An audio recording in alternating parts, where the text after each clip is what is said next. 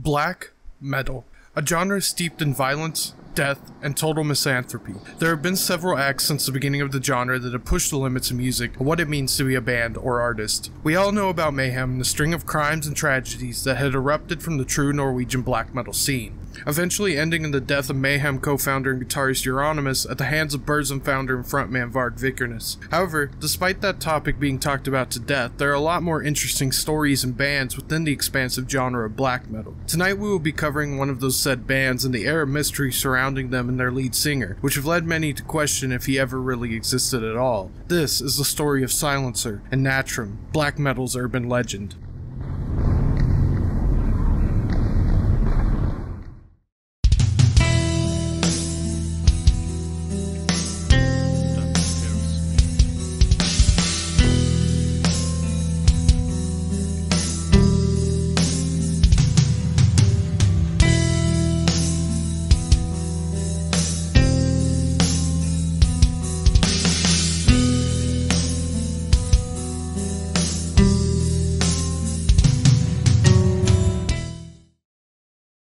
Before we dive into the story itself, we must take a look at the genre it spawned from. There are many subgenres to black metal, some being highly praised and celebrated amongst circles, to some being deeply frowned upon and shunned by most major music and metal communities. The main genre that will be covered tonight is known as DSBM, or Depressive Suicidal Black Metal. Depressive Suicidal Black Metal spawned from the already existing black and doom metal genre, which melds together the thickness and slower passages of doom metal, the shrieking vocals and heavy distortion of black metal. Pioneered mostly in Sweden by bands such as Katatonia, Bethlehem, Ophthalamia, and more, the genre utilizes typical lyrics of depression, suicide, and misanthropy among other topics. DSBM recordings opt in for a lo-fi sound, even more so than your standard black metal release at the time. The main structures that make up DSBM include heavy distortion on the guitars, high-pitched vocal work lacking any sort of energy other than pure hopelessness and desperation, as well as some acoustic instrumentation and non-distorted guitars. The aspect of a one-man band is also a very prominent subject in this genre to really drive home the feeling of loneliness. Projects like Xasthur by Scott Conner and Leviathan by Jeff Whitehead have released some of the most influential albums in modern black metal, with them mostly being the project's sole members, harkening back to the days of Varg Vikernes and Burzum. While Burzum is not a DSBM project itself, many DSBM bands, especially one-band projects, were influenced by Varg's work ethic and sound. I could cover black metal and DSBM forever, and may even make a larger video discussing the full history of DSBM one day with how much I have listened to in my time being a fan of black metal. However, tonight we are here to focus on one band and their lead singer who had so much speculation and rumors circulated about him that has gone down as more of an urban legend in black metal circles.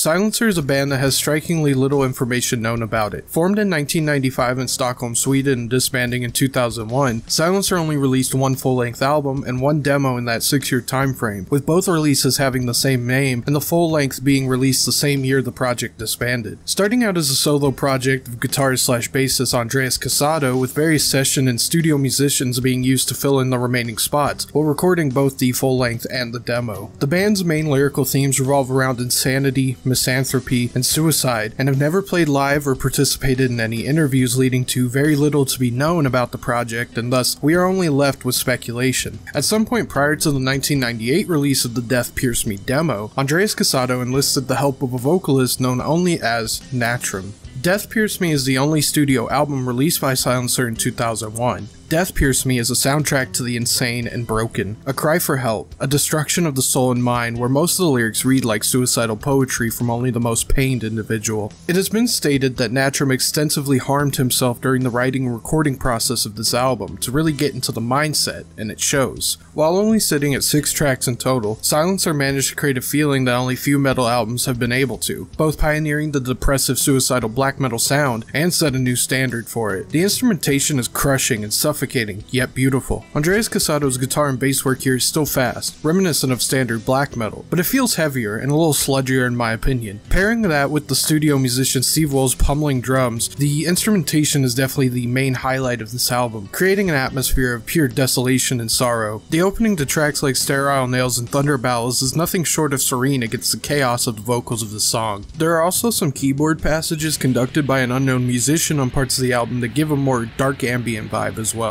Possibly, though, the most recognizable trait of this album is also its most challenging feature. Nattramn's vocals are hard to define and even harder to get used to compared to other black metal vocalists and projects. Nattramn's vocals are pain. High pitched shrieks, low gutturals, and suffocating gurgles litter the entire album's 49 minute runtime. Many have said that it's hard to get used to Nattramn's vocals, and as someone who has listened to this release countless times, I can't agree it can come off quite comedic at first, but can still provide this level of torture and pain, especially when paired with the instrumentation. This is also the first and only release from the band. I'm sure that if they stuck around for longer, Nattramn's vocals would have been more refined with time. However, there is one glaring problem with this release that would definitely stop someone from enjoying this project fully or even at all. That is the song I Shall Lead, You Shall Follow. While most of the lyrics up until this point have just been about death, misanthropy, suicide, and insanity. The lyrics to I Shall Lead, You Shall Follow are hard to ignore as being questionably sketchy at best and straight up an NSBM song at worst, and it's most likely the latter. For the uninitiated, NSBM, or National Socialist Black Metal, is a subgenre of the black metal scene where extreme fascism, racism, anti Semitism, and more abhorrent ideologies run rampant. The lyrics to I Shall Lead, You Shall Follow have a set of lyrics that read The consumption of six million stars, cyclonic winds and septic wars, shed the blood of the Jumans, slay the lion of Judah, revive the night of crystals, convert my ashes, rebuild me in the spiral world of nowhere. My only solution is the cosmic conclusion.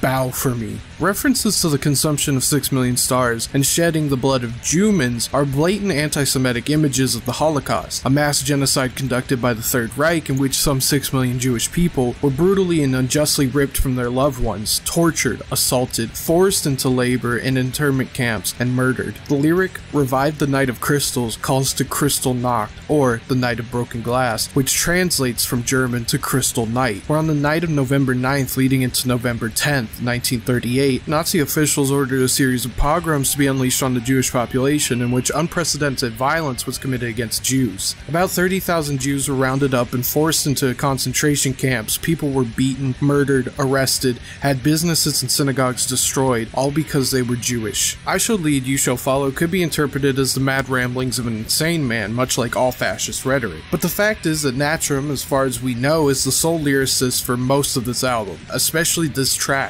and his call for the revival of pogroms against the Jewish people and the already existing Nazi problem black metal has, it's far scarier than any of the rumors and speculation about the man that I will cover later in this video.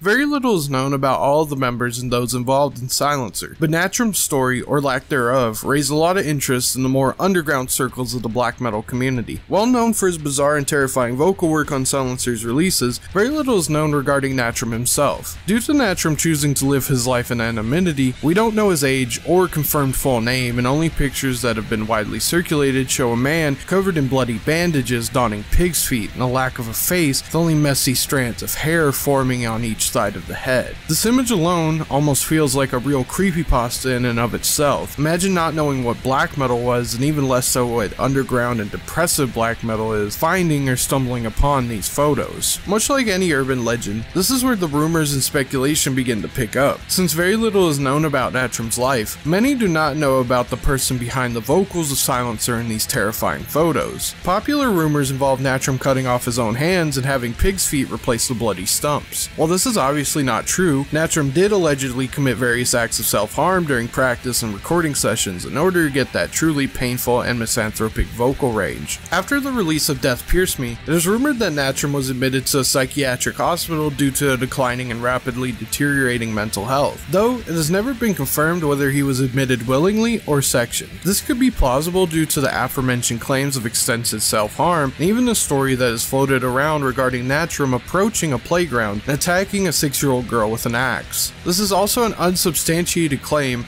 much like a lot of other rumors revolving around Nattramn. However, attacking small children with axes aside, I think that Nattramn embodies the pure evil, misanthropy, and sadistic nihilism that so many bands have aimed for during the peak of black metal. There are countless other bands and projects that have most likely had a member partake in some fucked up shit or die in a horrific way, but Nattramn has always had an air of mystery about him, and that have led to some to even question if he was a real person or not. After After Silencer's breakup, Nattramn would spend several years in inactivity until starting up a dark ambient project called Diagnose. Diagnose is a pretty interesting project, and if I had to pick possibly my favorite of the albums I listened to while researching and writing this video. While it's mainly a dark ambient project, Nattramn incorporates more experimental elements here including industrial, martial industrial, drone, and even noise. It's a pretty interesting listen if you're a dark ambient and old school industrial head. Nattramn also wrote a book released in 2011 titled Grishjärta, or Pig's Heart in English. The book contains never before seen photos of Nattramn, as well as a collection of his art and poetry, including lyrics from Silencer tracks. While I haven't read through the whole book itself, a free copy is on the Internet Archive that I've skimmed through. The art contained within the book is very dark and abstract and expressive. The poetry goes along with this being very similar to the work he wrote for Silencer. The pictures of Nattramn provided are few and still mysterious and cryptic. However, we get to see him unmasked and bearing normal hands. The photos are pretty cool, displaying a level of emotion and pain that has been with Nattramn his whole life and what inspires his art so much.